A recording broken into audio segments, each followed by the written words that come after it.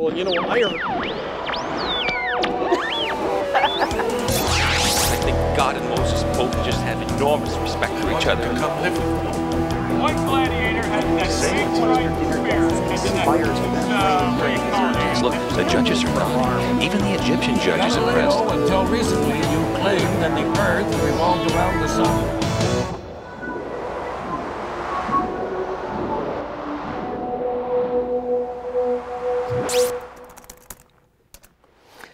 Welcome to History Bites. I'm Rick Green.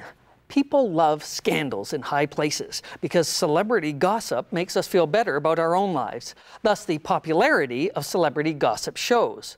But there were scandals long before hard copy.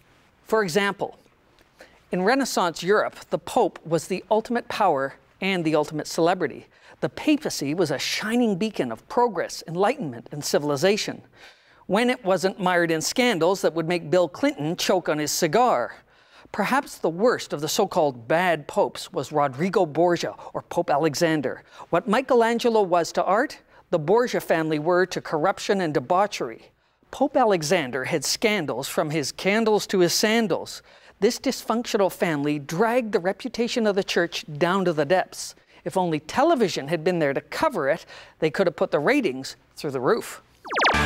Yeah, well, yeah, yeah, you know, yeah, sure. Of course I can get your forgiveness. I, I'm, I, I'm the Pope, babe. What did you do wrong, Your Majesty? Oh, oh yeah, okay, murder. Uh, oh, you, you did what? Oh, f- well, that, that is f- bad. What, what, what kind of animal was it? Oh, gee, I mean, what, what's wrong? You, what, you don't, you, are you short of women over there or what, you know? All right, look, look, you might see, I'll make you a deal. It'll be, what, two thousand florins, and you're off the hook. All right? You're forgiven by the church and by God. No, no Hail Marys, just send the payola, babe. All right, all right. Okay, see, you have, hang on a minute. Would you guys shut the f up? That's like I'm trying to make a living here, eh? Crazy for riches and hoes. When you're Pope Alex, anything goes. Ladies, it's not too late to come to his orgy and participate. And participate. Cesare! What? It's, it's time for church, man. Dad, I'm 18. I want to do my own thing, all right? I don't want to go to church. Oh, but you listen, man. You, you have to go to church, you know? Why? Because you're a f***ing cardinal, man. Dad, this is so f***ing unfair. I've scheduled like two dates and a hunting party.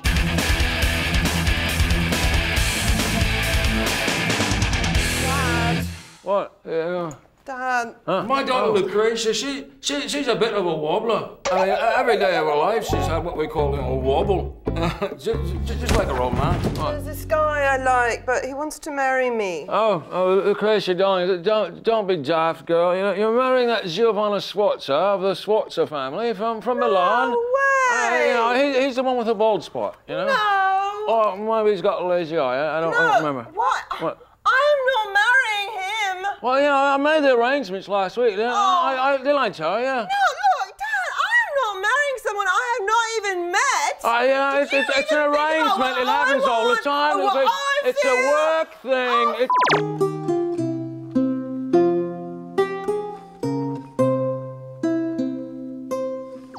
Anyway, since Rodrigo Borgia bribed his way into the papacy, he has really changed the Vatican. Oh, yeah, yeah, big changes, uh, creating lots of new positions. And uh, Oh, no. jobs. I meant jobs, for God's sake. okay, so now here from our home office in Sardinia, here are the top 10 new jobs created by Pope Alexander. The top 10 new jobs created by Pope Alexander. Here we go. And number 10, indulgent sales associate. Number 9, mistress wrangler. Number 8, food taster to make sure there's no poison in Pope's dinner. Number 7, food taster to make sure there is poison in guest dinner. Number 6, Lucretia's husband. Uh, note, this is a temp job. And uh, no kidding, I think uh, that, that'd be a day job, eh, eh Paul? Double income. No bastard. Oh, no. There's Kayoka. Kayoka. Mikachu. Phew Phew. What is it? There's trouble in Rome, Kayoka. It's the Pope and his family again. I summon the power of the angry, honest Christians! The Pope wanted to celebrate his Jubilee with a public performance by 50 couples. That's right. He and Cesare and Lucretia were going to judge this dance contest. He said the men would be palace servants, but the women had to be harlots. And I'm confused as harlots are not the best dancers. Well, I hate to say it, but it's no dance contest. and it's coming down the wire. They're at the post, and oh, couple number 17 scored good points for style and technical merit. Oh my, I must put a stop to this.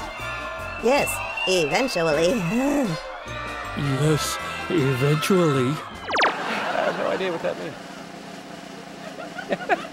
and the number one new job created by Pope Alexander, wedding planner. No, no, divorce lawyer. No, wedding planner. No, divorce lawyer. In medieval times, some popes were married, but by the time Alexander bought the papacy, that sort of thing just wasn't done. So he had to content himself with mistresses, and his number one gal was Vannozza de Catani. Being the pope, he married Vannozza twice to two other men. But that didn't stop Vannozza from bearing Alexander two of his most famous bastards, Cesare and Lucretia Borgia. The kids gave Pope Alexander two ways to deal with rival clans. The boy could battle him, or the girl could marry him. We met at one of his orgies years ago and really hit it off. Six times in two hours. Alexander isn't allowed to marry, so I guess you could say I'm his first lady. Well, a hundred first lady, actually, but his most important kids are mine. Look, I mean, look, you just can't party all the time, babe. I mean, you know, do you want to end up like me? I mean, look, I, have poisoned people, I've drunk too much, I, I, slept with loads of women. I mean, just, just, just, just look at me. Dad, you're the Pope, the most powerful guy in the world. Oh, oh yeah, it's true. All right, all right, bad example, but... Uh, Shut up! Calm it's not... Shut up! I know it may not seem like it at times, but there's a lot of love in this palace. Uh, you know, I'm, and I'm, I'm, I'm, not just talking about the orgies, you know, I, I'm, I'm in the real deal, man. I mean, sure, we squabble from time to time, but... You're not even the Pope's son, Cesare. You're a bastard in both senses of the word. I am not a bastard. I got a papal dispensation. Oh. Oh, stop. You crazy, Cesare. You possessed by demons. At least I'm not a woman. Oh. I don't carry yeah. At least I don't carry the tempting seed of evil in me. You know, squabbling's what families do. I'm sure we got gold and luxuries, but you know, when you, when you get right down to it, this, this isn't a papal palace, it's, it's, a people palace, babe, you know, and, and you know, people squabble.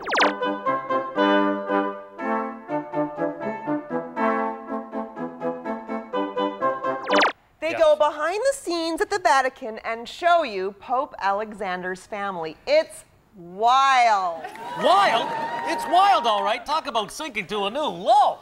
You really don't like reality television, do you? Look, reality television I'm fine with. It's Pope Alexander I don't like. don't like him. Well, Reach, this show is like so huge. A total hit. You get to see the papacy of Pope Alexander. Okay, let me just make a little prediction right here on the air, all right? I say it won't last. In fact, I predict it'll get canceled by 1503 They're not gonna cancel their top show. Show nothing. I'm talking about his papacy. His kid Cesare, I mean, he's got that hungry look, and he's got the big sword too, you know. My uncle, that Pope Calixtus, we, we always used to squabble, yeah, but that didn't stop him from making me a cardinal. Yeah, it's, it's like a family business, man. Poping. You, you just can't go on like this, Cesare. I mean, you know, uh, hunting animals is one thing, but, you know, killing people's another. You just can't shoot people in the middle of St. Peter's Square, eh? Dad, they were just prisoners. They were condemned to death anyway. Oh, oh, oh, all right, but you know, it's not just that. It's, it's the womanizing too, all right? You know, like if you sleep with their daughters and their wives, the nobles are gonna come and they're gonna kill you, man. I know what I'm doing. I'm not a f***ing idiot. Oh, you want to end up like your brother? Hey, is that what you want? Cesare had an older brother, Giovanni, and he was the prince of the family. I know, it's like we never stop hearing about him. And well, one night he just didn't come home. He had been stabbed all over, and we had to drag his body out of the river Tiber. Mum, you know what the kids at school are saying? They're like, check it out, check the, out the Pope. Now he's really a fisher of men. Lucretia! That is in bad taste. And look, I just don't want to lose another son, all right? So you know the rules about women. Yeah, yeah, I know, Dad. Safe sex. That's right. Sleep with prostitutes, for sakes, man. I mean, that's, that's what God put them there for, isn't it? Dad, yeah. Coming up, Lucretia is in the family way, and that gets in the way of the family. and participate and participate. Renaissance Italy was a complex network of city states run by rival families. Relations between these powerful clans were cemented through weddings. Each arranged marriage was like a business merger, and family ties could make or break you. For a crooked Borgia pope, family ties were meant to be broken. Lu- Lucretia's a woman, eh? Or, or at least she will be, and getting married for political alliances eh, eh, eh, is what women are for, right? Come on, Lucretia, who's my little bride? Call off the wedding! Why? Because I don't love him! Well, how could you? You haven't even met him. Oh, no, no, Lu- Lu- Lucretia, you don't understand the ways of the world, babe. I mean, you know, it's not about love, is it? No, no. It's about firming up our connections with the Milanese. That's right. Besides, you're only 13. You've got your whole life to find something to love about this fellow. Yeah, and you know, uh, uh, people don't live forever these days, you know, if you uh, uh, catch my drift.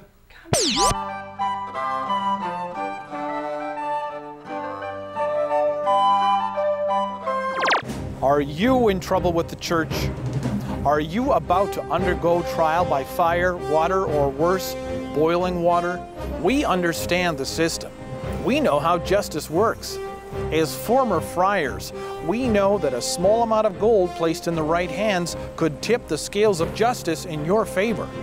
The difference between your guilt or innocence may be just a few degrees, and by making a donation on your behalf, we'll make sure that everything's cool. I was forced to put my hand in boiling water, but three days later, the priest said he didn't see any telltale blisters. Thanks, Guillaume and Roland.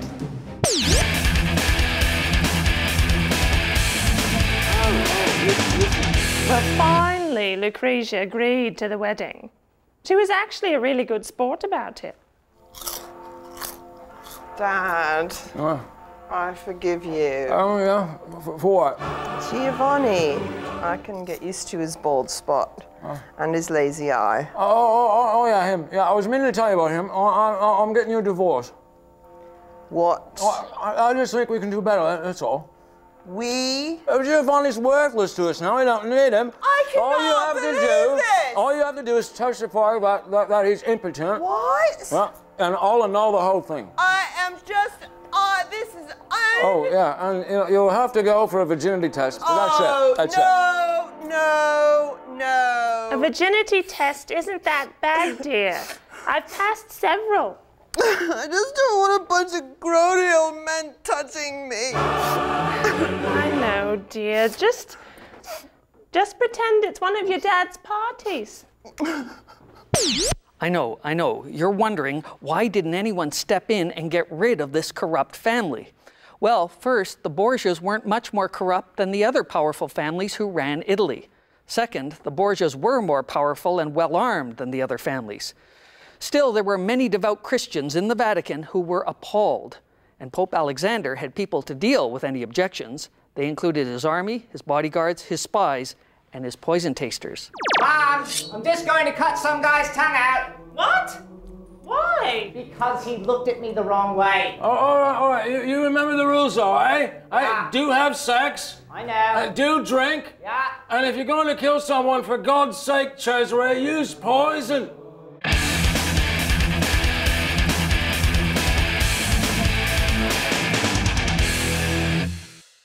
Nowadays, with so many family rivalries and nobles squabbling for power, it's wise to remember that good things take time. That's why I prefer to use slow acting poisons. Poisons that weaken, debilitate, and eventually kill my victims over months, even years. Slow poisons take longer and cost a little more, but they're much less suspicious. And, as my Sicilian friends say, revenge is a dish best served cold and garnished with poison. I've been wearing these rubies to ward off disease, but I'm still sick. Then stop wearing gems and start eating them. Don't believe the old wives' tales. Wearing gems is not a cure. Doctors and apothecaries agree that gemstones can only cure you if you eat them. That's why we put only the finest crushed gems into Sandy Gem. Brown sapphires, red rubies, green emeralds, and new blue diamonds. Sandy Gem, it really works. But maybe I should talk to an apothecary about this. You just did. Dad. Oh, what, what is it, Lucretia? Dad, I can't go for that virginity test. Oh, oh really? Oh. Dad, I'm in the family way. Oh, no, no, Lucretia, you're not in this family's way. It's quite the opposite, love. You know, you've, you've been a huge help marrying all these blokes, you know. No, some other noble families, you know, the, the Medicis, the Orsinis, the Della Roveres, they're the ones in this family's way. Dad, I'm pregnant for What? sake. What? Pregnant? Yeah. Oh, well, who, who was it? Giovanni Sforza? No. Oh. It was Pedro, the messenger boy. Oh, Pedro. Oh, oh, thank God. As long as it's not that Sforza fellow. I don't want any legitimate heirs coming from that little f- Thank you very much. But you still have to go for that virginity test. What? Uh, look, I'm Alexander the Sixth, the Pope of darkness, all right? I'm the little who brought law and order to Rome. I've got money. I've got armies. I'm the messenger of God, babe, all right? So if I say you're a virgin, you'll be a virgin. Stay tuned for more hilarious hijinks as the Borgias prove absolute power corrupts absolutely.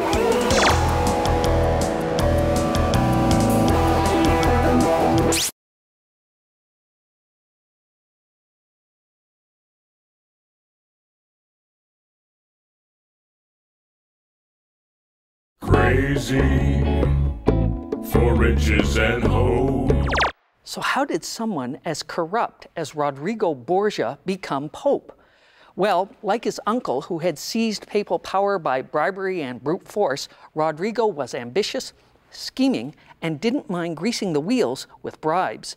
He bought the papal election and then made sure that his kids were given prime positions in the church. Oh, coochie, coochie, coochie, coo. Oh, isn't it sweet, this little thing?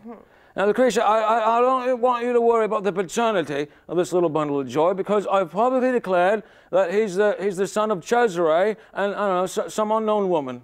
What? Now, now, Lucretia, don't get all wobbly on me now. Don't get all f***ing wobbly. But Dad, everyone knows that I am the f***ing mother. No, no, you don't and if they think that. Cesare is f***ing father, they're gonna think that I f***ing my own f***ing Oh, brother. no, no, look, look, look, Lucretia, you've got, you've got to stop worrying about what other people say. I mean, you know, just, just, just look at what they say about me, all right? That I, that I, I bribe my way in, in, into the papacy, and and I'm, I'm, I'm a sex maniac, and that I've, I've got a house full of mistresses and uh, bastard children. Dad, that is all f***ing true. I know that. That's why I ignore it, eh? Otherwise, it'd drive you mad. Oh, Oh, now, now you want the baby. I will not let you say this baby is Cesare's, so f*** you! Do not swear at your dad. He is your holy father, for f***'s sake. How, how about this? We could just annul the baby. What? Can't annul a baby, Alex. You annul a marriage. All right, all right, right, right. Actually, I could annul a baby. No, give it here! Ah! You're shaking it too hard. not. It's my Okay, baby. okay, okay, You're okay. Shut the holding f- up. Okay, here, here it is. It's over. Problem solved. Here it is. Sign and witness. I declare that this child is a child of myself and an unknown woman. That ought to stop the gossip. Hey? That's a good one. Yeah, I thought so too. you go. It's That's good. wonderful. Yeah. Yeah, but if my dad's the father and I'm the mother, then that means my dad and me. Oh, f Dad! Cesare, where's my f***ing wife?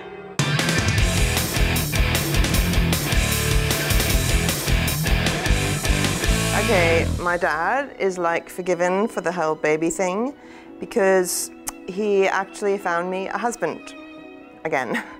And um, this one's actually kind of nice. His name is Alfonso. He's the son of the King of Naples, and he's rich and good looking. Lucretia! Lucretia, darling! What's up, Dad? Uh, you know, this uh, Alfonso fellow, you know, um... What's I- wrong? Uh, nothing, nothing, nothing at all. It's just that, you know, he, he, he's from Naples, and, and right now Naples is mad at France. You know, I'm trying to get some deals done with France, you know, like treaties. So, it's... What are you trying to say, Dad? Well, you know, it's, it's, it's, it's hard to understand. You know, uh, like I really like Alfonso. I, I, I really do. Yeah, I think the world of him and all that. But it's just that you know, right now he's a serious political li- liability. Uh, I you knew this was too good to be true. Oh, Lucretia, you just don't understand the ways of the world, babe. That's right. Who do you think pays for all this? Oh, darling? You know, but, but, hey, don't, don't worry. We'll make sure it's well taken care of. You know. Yeah, because you know, like, he's part of the family now, babe. Yeah, he's a Borgia, babe, right? Ah, so he'll be treated just like any other member of the family. You mark my words. Oh, Dad. I love you. Oh, I love you too, wobbler. Alexander eventually found a third hubby for Lucretia, but the blasphemous Borgia's behavior couldn't continue forever. After 11 years as Pope, Alexander died in what some suggest was a botched attempt to poison a rival. Always write your name on your cup at a party. The family's power quickly died with him, but the damage was done. When an outraged cleric named Martin Luther nailed up his 95 Theses condemning papal corruption, many Catholics said, Yeah, it was the birth of Protestantism. The popes who followed had to work hard to reform the church so history wouldn't repeat itself, because history bites. So I got the job, and I'm thinking, great. I get to work in the Vatican kitchen, and I get to taste all the Pope's food. People are dying for a job like this. So anyway, I'm tasting food all day, and the chef brings by a leg of pheasant for me to taste. But I'm full. So I take the food, give it to the Pope, yada yada yada, and he dies.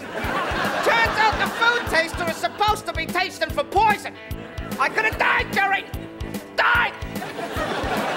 Now they've got a stiff pot of an ice cold popsicle Đừng bắn mít câu Lách tay